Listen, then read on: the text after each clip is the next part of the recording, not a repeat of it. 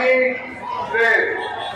আগামী ষোলো জানুয়ারি, আগামী ষোলো জানুয়ারি দশ দফা আদায়, বিদ্যুতের দাবিতে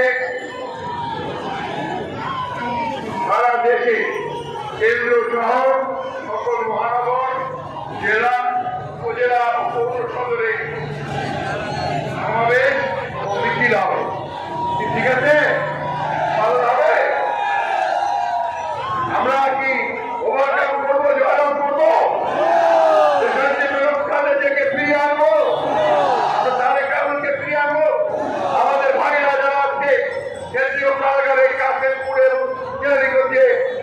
আছে তাদেরকে মুক্ত করব। ইনশাআল্লাহ আমরা সবাই আমাদের সেই বাংলাদেশ প্রতিষ্ঠা করব। ধন্যবাদ সকলকে। বাংলাদেশ জিন্দাবাদ।